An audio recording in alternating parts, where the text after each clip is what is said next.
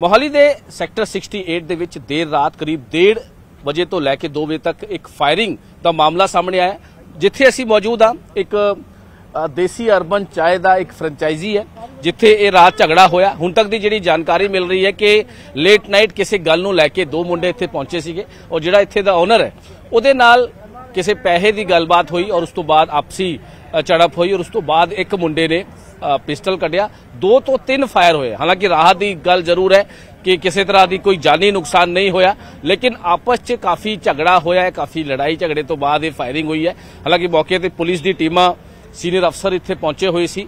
ਹਾਲਾਂਕਿ ਦੱਸਿਆ ਜਾ ਰਿਹਾ ਹੈ ਕਿ ਇੱਕ ਇਹਦੇ ਵਿੱਚ ਕਾਬੂ ਕਰ ਲਿਆ ਗਿਆ ਜਿਹਦੇ ਕੋਲੋਂ ਪੁੱਛਗਿੱਛ ਕੀਤੀ ਜਾ ਰਹੀ ਹੈ, ਲੇਕਿਨ ਜਿਨੇ ਫਾਇਰ ਕੀਤੇ ਸੀਗੇ, ਉਹ ਹਜੇ ਫਰਾਰ ਦੱਸਿਆ ਜਾ ਰਿਹਾ। ਉਹ ਕੌਣ ਨੇ? ਜਿਨ੍ਹਾਂ ਨੇ ਫਾਇਰ ਕੀਤਾ, ਦੱਸਿਆ ਜਾ ਰਿਹਾ ਕਿ ਯੂਪੀ ਦੇ ਰਹਿਣ ਵਾਲੇ ਤੇ ਹੁਣ ਪਿਸਟਲ ਕਿੱਥੋਂ ਆਇਆ, ਲਾਇਸੈਂਸੀ ਹੈ, ਨਹੀਂ ਹੈ, ਇਹ ਸਾਰੀ ਚੀਜ਼ਾਂ ਨੂੰ ਲੈ ਕੇ ਹੁਣ ਪੁਲਿਸ ਇਨਵੈਸਟੀਗੇਸ਼ਨ ਕਰ ਰਹੀ ਹੈ। ਲੇਕਿਨ ਲੇਟ ਨਾਈਟ ਇਸ ਤਰ੍ਹਾਂ ਦੀ ਜਿਹੜੀ ਪਿਸਟਲ ਲੈ ਕੇ ਆ, ਗੁੰਡਾਗਰਦੀ ਆ ਲੇਟ ਨਾਈਟ ਤੱਕ ਜਿਹਦੇ ਕੋਲੋਂ ਲਾਇਸੈਂਸ ਹੁੰਦਾ ਹੈ ਜਾਂ ਨਹੀਂ ਹੁੰਦਾ ਹੈ, ਇਹ ਵੀ ਇਨਵੈਸਟੀਗੇਸ਼ਨ ਦਾ ਪਾਰਟ ਹੈ। ਲੇਕਿਨ ਲੇਟ ਨਾਈਟ ਜਿਹੜੀ ਗੁੰਡਾਗਰਦੀ ਹੁੰਦੀ ਹੈ, ਸੜਕਾਂ ਤੇ ਘੁੰਮਦੇ ਆ, ਮਾਰਕੀਟਾਂ 'ਚ ਘੁੰਮਦੇ ਆ, ਲਾਇਸੈਂਸ ਲੈ ਕੇ, ਇਹਦੇ ਤੇ ਵੀ ਹੁਣ ਠੱਲ ਪਾਉਣ ਦੀ ਗੱਲ ਜ਼ਰੂਰ ਕੀਤੀ ਗਈ ਸੀ। ਲੇਕਿਨ ਪੁਲਿਸ ਦੇ ਦਾਅਵੇ ਜ਼ਰੂਰ ਖੋਖਲੇ ਨਜ਼ਰ ਆਉਂਦੇ ਨੇ ਕਿ ਜਦ ਇਸ ਤਰ੍ਹਾਂ ਦੀ ਵਾਰਦਾਤਾਂ ਹੁੰਦੀ ਹੈ, ਇਸ ਤਰ੍ਹਾਂ ਦੀ ਸ਼ਰੇਆਮ ਫਾਇਰਿੰਗ ਹੁੰਦੀ ਹੈ, ਤਾਂ ਕਿਤੇ ਨਾ ਕਿਤੇ ਕੁਐਸਚਨ ਮਾਰਕ ਜ਼ਰੂਰ ਪੁਲਿਸ ਦੀ ਪੈਟਰੋਲਿੰਗ ਤੇ ਖੜਾ ਹੁੰਦਾ ਮੋਹਾਲੀ ਦੇ ਸੈਕਟਰ 68 ਦੇ ਵਿੱਚ ਦੇਰ ਰਾਤ ਕਰੀਬ 1:30 ਵਜੇ ਤੋਂ ਲੈ ਕੇ 2 ਵਜੇ ਤੱਕ ਇੱਕ ਫਾਇਰਿੰਗ ਦਾ ਮਾਮਲਾ ਸਾਹਮਣੇ ਆਇਆ ਜਿੱਥੇ ਅਸੀਂ ਮੌਜੂਦ ਹਾਂ। ਇੱਕ ਦੇਸੀ ਅਰਬਨ ਚਾय ਦਾ ਇੱਕ ਫਰੈਂਚਾਈਜ਼ੀ ਹੈ, ਜਿੱਥੇ ਇਹ ਰਾਤ ਝਗੜਾ ਹੋਇਆ। ਹੁਣ ਤੱਕ ਦੀ ਜਿਹੜੀ ਜਾਣਕਾਰੀ ਮਿਲ ਰਹੀ ਹੈ ਕਿ ਲੇਟ ਨਾਈਟ ਕਿਸੇ ਗੱਲ ਨੂੰ ਲੈ ਕੇ ਦੋ ਮੁੰਡੇ ਇੱਥੇ ਪਹੁੰਚੇ ਸੀਗੇ। ਔਰ ਜਿਹੜਾ ਇੱਥੇ ਦਾ ਓਨਰ ਹੈ, ਉਹਦੇ ਨਾਲ ਕਿਸੇ ਪੈਸੇ ਦੀ ਗੱਲਬਾਤ ਹੋਈ ਔਰ ਉਸ ਤੋਂ ਬਾਅਦ ਆਪਸੀ ਅ, ਝੜਪ ਹੋਈ ਔਰ ਉਸ ਤੋਂ ਬਾਅਦ ਇੱਕ ਮੁੰਡੇ ਨੇ ਪਿਸਟਲ ਕੱਢਿਆ। ਦੋ ਤੋਂ ਤਿੰਨ ਫਾਇਰ ਹੋਏ। ਹਾਲਾਂਕਿ ਰਾਹਤ ਦੀ ਗੱਲ ਜ਼ਰੂਰ ਹੈ ਕਿ ਕਿਸੇ ਤਰ੍ਹਾਂ ਦੀ ਕੋਈ ਜਾਨੀ ਨੁਕਸਾਨ ਨਹੀਂ ਹੋਇਆ ਲੇਕਿਨ ਆਪਸ 'ਚ ਕਾਫੀ ਝਗੜਾ ਹੋਇਆ ਹੈ ਕਾਫੀ ਲੜਾਈ ਝਗੜੇ ਤੋਂ ਬਾਅਦ ਇਹ ਫਾਇਰਿੰਗ ਹੋਈ ਹੈ। ਹਾਲਾਂਕਿ ਮੌਕੇ ਤੇ ਪੁਲਿਸ ਦੀ ਟੀਮਾਂ ਸੀਨੀਅਰ ਅਫਸਰ ਇੱਥੇ ਪਹੁੰਚੇ ਹੋਏ ਸੀ। ਹਾਲਾਂਕਿ ਦੱਸਿਆ ਜਾ ਰਿਹਾ ਹੈ ਕਿ ਇੱਕ ਇਹਦੇ ਵਿੱਚ ਕਾਬੂ ਕਰ ਲਿਆ ਗਿਆ ਜਿਹਦੇ ਕੋਲੋਂ ਪੁੱਛਗਿੱਛ ਕੀਤੀ ਜਾ ਰਹੀ ਹੈ ਲੇਕਿਨ ਜਿਨੇ ਫਾਇਰ ਕੀਤੇ ਸੀਗੇ ਉਹ ਹਜੇ ਫਰਾਰ ਦੱਸਿਆ ਜਾ ਰਿਹਾ। ਉਹ ਕੌਣ ਨੇ? ਜਿਨ੍ਹਾਂ ਨੇ ਫਾਇਰ ਕੀਤਾ, ਦੱਸਿਆ ਜਾ ਰਿਹਾ ਕਿ ਯੂਪੀ ਦੇ ਰਹਿਣ ਵਾਲੇ। ਤੇ ਹੁਣ ਪਿਸਟਲ ਕਿੱਥੋਂ ਆਇਆ, ਲਾਇਸੈਂਸੀ ਹੈ, ਨਹੀਂ ਹੈ, ਇਹ ਸਾਰੀ ਚੀਜ਼ਾਂ ਨੂੰ ਲੈ ਕੇ ਹੁਣ ਪੁਲਿਸ ਇਨਵੈਸਟੀਗੇਸ਼ਨ ਕਰ ਰਹੀ ਹੈ।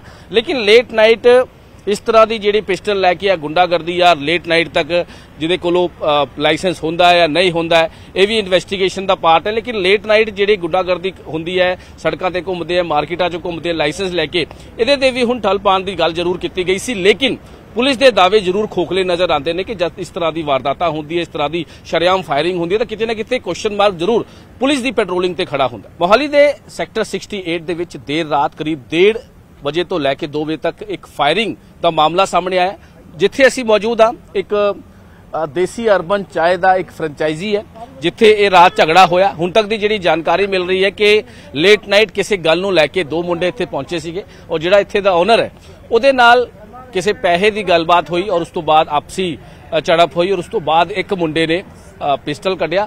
ਦੋ ਤੋਂ ਤਿੰਨ ਫਾਇਰ ਹੋਏ। ਹਾਲਾਂਕਿ ਰਾਹਤ ਦੀ ਗੱਲ ਜ਼ਰੂਰ ਹੈ ਕਿ ਕਿਸੇ ਤਰ੍ਹਾਂ ਦੀ ਕੋਈ ਜਾਨੀ ਨੁਕਸਾਨ ਨਹੀਂ ਹੋਇਆ ਲੇਕਿਨ ਆਪਸ 'ਚ ਕਾਫੀ ਝਗੜਾ ਹੋਇਆ ਹੈ ਕਾਫੀ ਲੜਾਈ ਝਗੜੇ ਤੋਂ ਬਾਅਦ ਇਹ ਫਾਇਰਿੰਗ ਹੋਈ ਹੈ।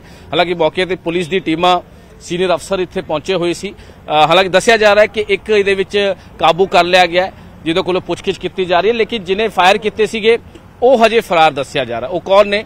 ਜਿਨ੍ਹਾਂ ਨੇ ਫਾਇਰ ਕੀਤਾ, ਦੱਸਿਆ ਜਾ ਰਿਹਾ ਕਿ ਯੂਪੀ ਦੇ ਰਹਿਣ ਵਾਲੇ ਤੇ ਹੁਣ ਪਿਸਟਲ ਕਿੱਥੋਂ ਆਇਆ, ਲਾਇਸੈਂਸੀ ਹੈ, ਨਹੀਂ ਹੈ, ਇਹ ਸਾਰੀ ਚੀਜ਼ਾਂ ਨੂੰ ਲੈ ਕੇ ਹੁਣ ਪੁਲਿਸ ਇਨਵੈਸਟੀਗੇਸ਼ਨ ਕਰ ਰਹੀ ਹੈ। ਲੇਕਿਨ ਲੇਟ ਨਾਈਟ ਇਸ ਤਰ੍ਹਾਂ ਦੀ ਜਿਹੜੀ ਪਿਸਟਲ ਲੈ ਕੇ ਆ ਗੁੰਡਾਗਰਦੀ ਆ ਲੇਟ ਨਾਈਟ ਤੱਕ ਜਿਹਦੇ ਕੋਲੋਂ ਲਾਇਸੈਂਸ ਹੁੰਦਾ ਹੈ ਜਾਂ ਨਹੀਂ ਹੁੰਦਾ ਹੈ, ਇਹ ਵੀ ਇਨਵੈਸਟੀਗੇਸ਼ਨ ਦਾ ਪਾਰਟ ਹੈ ਲੇਕਿਨ ਲੇਟ ਨਾਈਟ ਜਿਹੜੀ ਗੁੰਡਾਗਰਦੀ ਹੁੰਦੀ ਹੈ, ਸੜਕਾਂ ਤੇ ਘੁੰਮਦੇ ਆ, ਮਾਰਕੀਟਾਂ 'ਚ ਘੁੰਮਦੇ ਆ ਲਾਇਸੈਂਸ ਲੈ ਕੇ, ਇਹਦੇ ਤੇ ਵੀ ਹੁਣ ਠੱਲ ਪਾਉਣ ਦੀ ਗੱਲ ਜ਼ਰੂਰ ਕੀਤੀ ਗਈ ਸੀ ਲੇਕਿਨ ਪੁਲਿਸ ਦੇ ਦਾਅਵੇ ਜ਼ਰੂਰ ਖੋਖਲੇ ਨਜ਼ਰ ਆਉਂਦੇ ਨੇ ਕਿ ਜਦ ਇਸ ਤਰ੍ਹਾਂ ਦੀ ਵਾਰਦਾਤਾਂ ਹੁੰਦੀ ਹੈ, ਇਸ ਤਰ੍ਹਾਂ ਦੀ ਸ਼ਰੇਆਮ ਫਾਇਰਿੰਗ ਹੁੰਦੀ ਹੈ, ਤਾਂ ਕਿਤੇ ਨਾ ਕਿਤੇ ਕੁਐਸਚਨ ਮਾਰਕ ਜ਼ਰੂਰ ਪੁਲਿਸ ਦੀ ਪੈਟਰੋਲਿੰਗ ਤੇ ਖੜਾ ਹੁੰਦਾ ਹੈ।